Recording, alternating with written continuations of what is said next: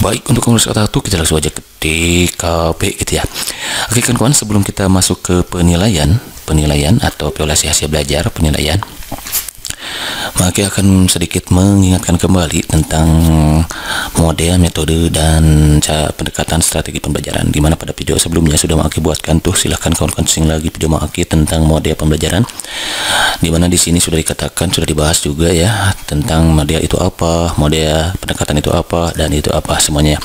Sehingga sekadar mengingatkan kembali model itu merupakan kerangka konseptual dan operasional pembelajaran yang memiliki nama ciri utara metodologis jadi ada sintaknya gitu ya.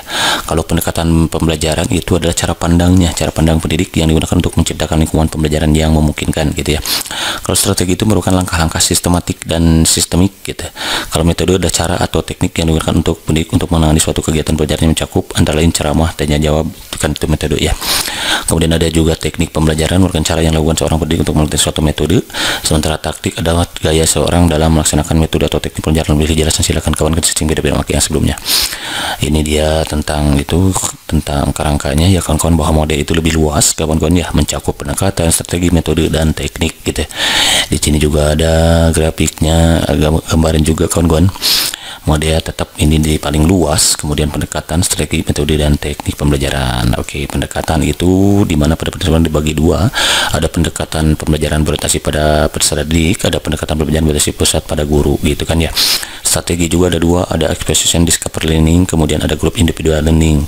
Kemudian strategi jadi cara penyajiannya juga ada dua strategi pembelajaran induktif dan strategi pembelajaran deduktif. Oke gitu. Metode itu banyak sekali ada ceramah diskusi kemudian demonstrasi kemudian simulasi kemudian laboratorium, kemudian pengalaman lapangan dan brainstorming, debat, juga simposium. Nah, ini SKPCPNS guru pedagogik gitu ya, soal dan pembahasannya. Oke okay, gitu ya. Oke dia terus kemudian definisi dari bahwa pembelajaran itu adalah proses interaksi antara peserta didik antara peserta didik dengan pendidik. Kemudian ya di samping interaksi antar peserta didik juga ada antara pendidik dengan guru. Eh sorry peserta didik dengan guru maksudnya pendidik itu kemudian dengan sumber belajar juga kemudian suatu lingkungan belajar gitu kan ya bahwa berba, pembelajaran dilaksanakan berbasis aktivitas dengan karakteristik berikut. Karakteristik pemba, apa, pembelajaran itu di antaranya harus interaktif dan menyenangkan sorry interaktif dan inspiratif menyenangkan menantang motivasi peserta didik untuk berbasis aktif sesuai dengan bakat minat kemampuan dan perkembangan fisik serta psikologis kembali peserta didik memberikan ruang yang cukup bagi peserta kreativitas dan kemudian peserta didik gitu kan ya kontekstual dan kolaboratif memberikan ruang yang cukup sesuai dengan bakat minat yaitu pembelajaran ya. Yang ini inovatif yang bukan oke. Okay. oke okay, kita lanjut ke penilaian gitu ya kawan-kawan. Di sini sudah sekian sebuah masalah namun pemeriksaaannya memangnya tebo seseru gitu ya. Selalu di permasalahan yang menjadi semoi solution biar apa iya betul. Biar ada inspirasi gitu kan ya nomor satu soalnya kayak gini kita baca bareng ya kriteria mengenai lingkup tujuan manfaat prinsip mekanisme prosedur dan instrumen penilaian hasil belajar peserta didik yang digunakan sebagai dasar dalam penilaian hasil belajar peserta didik pada pendidikan dasar dan pendidikan menengah disebut A. Standar penilaian B. Penilaian C. Evaluasi D. Hasil belajar D. Ulang, e. Ulangan Nah ini adalah definisi dari standar penilaian kawan-kawan ya. Jadi standar penilaian itu adalah kriteria mengenai lingkup tujuan manfaat prinsip mekanisme prosedur dan instrumen hasil belajar peserta gitu. Itu standar penilaian. Nah berikutnya. Number two. Uh, selalu ada permasalahan semuanya semai solution biar apa? Iya betul. Biar ada sih gitu kan kan ya. Oke kan kan soal ini masih soal pemanasan. Insya Allah di soal berikutnya akan mengakibatkan untuk soal hotnya untuk materi penilaian gitu ya kalau ini masih pemanasan aja dulu ya. Proses pengumpulan dan pengolahan informasi untuk mengukur pencapaian hasil belajar peserta disebut A. Standar penilaian B. Penilaian evaluasi hasil belajar D. Ulang E. Ulangan. Yang ini sudah sudah dijawab jadi yang betul adalah penilaian. Jadi ini rong rong rong gitu ya.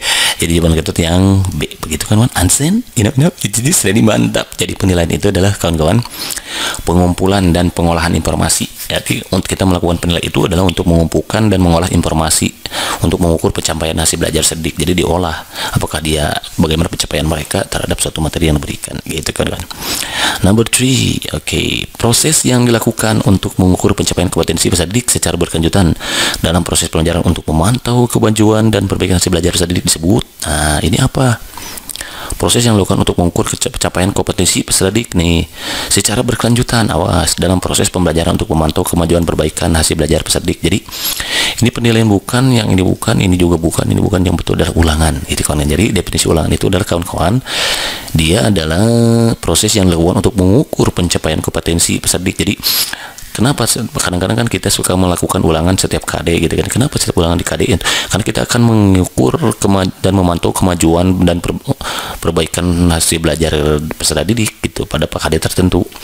Dan nantinya untuk perbaikan pembelajaran tentunya itu diajarkan ulangan itu. Makanya dianjurkan untuk kita melaksanakan ulangan tiap KD itu. Bagusnya sih seperti itu ya. Itu ulangan kalaupun enggak tiap berarti kita memberikan penilaian tiap hari boleh itu harian penilaian harian itu berarti sebutnya ya. Kalau ulangan yang sekarang dikenal adalah PH penilaian harian ada PU penilaian eh sorry PU bukan PU ya ada penilaian akhir semester ada penilaian pas gitu ya ada penilaian akhir tahun pelajaran PAT gitu ya kalau ulangan itu biasanya tiap KD kalau selesai KD kita ulangan gitu. Tujuannya untuk jadi memantau apa kemajuan dan perbaikan si belajar sedidik gitu Enough ya. Oke, okay, next number four. Proses interaksi antar peserta didik, antar peserta didik, interaksinya. Kemudian antar peserta didik dengan pendidik. Wah, sumber dan juga sumber belajar tadi udah kan ya. Berarti itu udah definisi dari pembelajaran gitu yang ini vrong gitu jadi jawaban berarti adalah A gitu kan kan. Understand? Jadi jadi sedih mantap kalau mantap next on number five. Oke. Okay di sini sudah segala sebuah masalah gitu ya apa pun sama minumnya butuh susu gitu ya selalu pun sering cuma my solution biar apa iya betul biar aspirasi gitu kan ya Kriya ketentuan belajar ditentukan oleh satuan pendidikan yang mengacu pada standar kompetensi kelulusan dengan mempertimbangkan peserta didik, karakteristik pelajaran dan kondisi satuan pendidikan tersebut. Nah, awas ini ada ketuntasan belajar. Kalau ketuntasan berarti ada ketuntasan lagi ini dia gitu ya. Berarti KKM ini ketuntasan minimal atau yang sikat dengan KKM. Jadi ini rong rong rong rong di zaman yang D gitu kan ya. Ada lagi nggak? Ada enam ya. Oke gitu kawan-kawan. Jadi KKM itu ada ditentukan dengan tiga cara. Kalau itu tergantung dari daya dukung sarana prasarana. Bagaimana nih sarana prasarananya mendukung nggak gitu kayak penggunaan fokus media pembelajaran ya. Kemudian dan lain sebagainya. Kemudian ada intake siswa, intake siswa dan kompleksitas kemampuan tingkat kesukaran soal itu baru dibuat KKM dinyatakanlah KKM 70 misalkan. Jadi kalau butuh apa KKM itu? Untuk mengetahui apakah dia termasuk peserta didik yang dinyatakan tuntas atau belum gitu ya. Karena KKM ini mengacu kepada PAP ya pedoman penilaian acuan patokan gitu ya, kalau saya. Ada PAN ada PAP penilaian acuan norma ada PAP penilaian acuan patokan kalau patokan itu KKM masuknya PAP KKM itu masuknya ke PAP ada sudah dimakai buatkan video sebelumnya. Silakan tentang PAN dan PAP Oke okay, next. Nah, nomor 6 Oke okay, sampai nomor 6 dulu kawan-kawan. Ya Seperti yang Max katakan ini hanyalah pemanasan dulu gitu ya. Nomor sikit ya. Soalnya kayak gini kita bicara lagi ya. Penilaian hasil belajar oleh pendidik bertujuan untuk memantau dan mengevaluasi proses kemajuan belajar Perbaikan hasil belajar peserta didik secara berkesinambungan Oh kok, kok salah ini? Soalnya sorry sorry. Oke ini bukan ya, harusnya begini. Pelasi belajar oleh pendidik bertujuan untuk nah, maksudnya begitu sampai sini nih. Jadi tujuan penilaian kecuali ini harusnya kecuali gitu. Jadi maksudnya gitu bang sorry sorry ini salah yang ngetik. Siapa yang ngetik? Mangaki berarti salah. Mangaki gitu ya. Jadi kawan-kawan penilaian itu dilakukan oleh tiga uh, penilaian itu penilaian itu bisa dilakukan oleh satu oleh pendidik. Penilaian itu uh, penilaian pendidik oh sorry sorry pendidik. Nah Tujuannya untuk apa? Tujuannya untuk memantau dan mengevaluasi proses kemajuan belajar. Ini memantau proses, mengevaluasi proses kemajuan belajar, perbaikan hasil belajar yang bukan ini pemantauan ya.